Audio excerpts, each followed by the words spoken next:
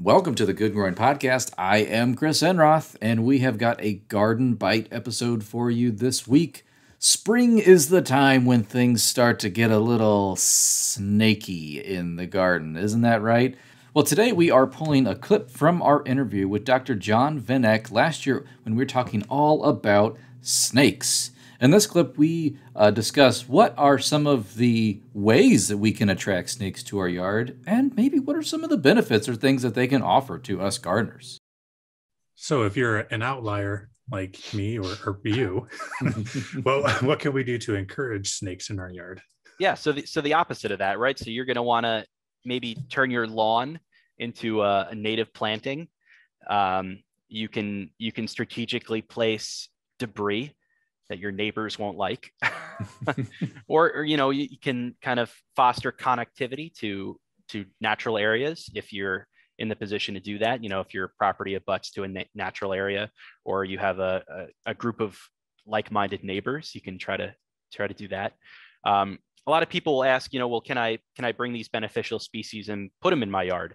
Uh, and that really doesn't work so well. Snakes have a, a pretty well defined home range and once you move them out of that, they're going to try to get back to where they came from. And if that means crossing a road, that means they're they're going to cross that road the opposite way and uh, try to get home, and are they're going to get smashed by a car. Um, so people ask, well, you know, can I bring king snakes into my yard? Because king snakes like to eat other species of snakes, including rattlesnakes and cotton or copperheads. Um, but again, that's it's they're not going to stay in your yard. They're going to try to get back home. Um, you can certainly you know, probably one of the best things you can do is to try to uh, help your neighbors have an appreciation for snakes. So at least they're not killing them. Maybe they call you instead, and then you can uh, come and remove them. So there, there are two species that I always like to tell people are, are the friend of the gardener, and I feel people on this show might appreciate that. So they're um, these small species. They're they only get about 15, 18 inches long, uh, and one of them is the the brown snake, um, and this is a species that loves to eat slugs. And so they eat worms and slugs. And so uh, I always tell people when I'm doing education programs, if you find a brown snake in your garden, you know, that's, you know, that's what you want there because you're, you're, what is it? Is it zucchinis and things that like, that slugs like to eat? Um, yeah, all kinds of stuff. Yeah. Yeah. So brown snakes are great to encourage in your backyard by, you know, putting some logs, you know, developing those connected areas.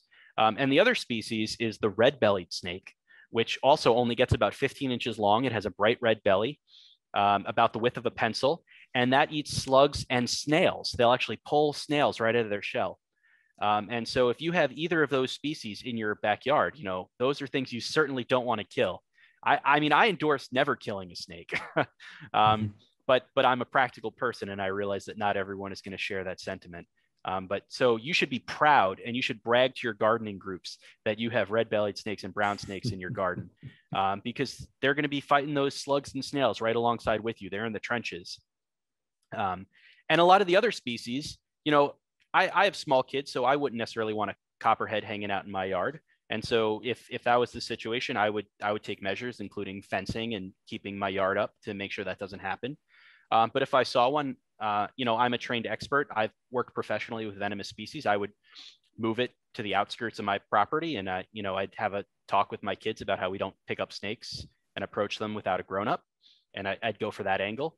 Um, if you kill that copperhead, you've removed the immediate threat, perhaps. But if you have a copperhead in your yard, that means there's a population of copperheads in your immediate area, and so removing one hasn't really done anything other than make you feel better uh, temporarily.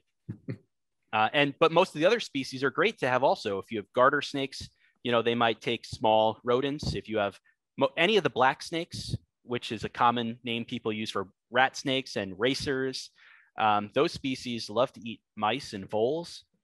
Um, king snakes love to eat voles, and um, uh, lots lots of our larger species, the prairie king snakes and our fox snakes, they're all great rodent eaters. And you know, if a snake is eating a rodent a week, that's a that's a for a single snake, that's a big difference when you think about the reproductive potential of these rodent species. Um, and so I, I would always say snakes are great to have in your garden.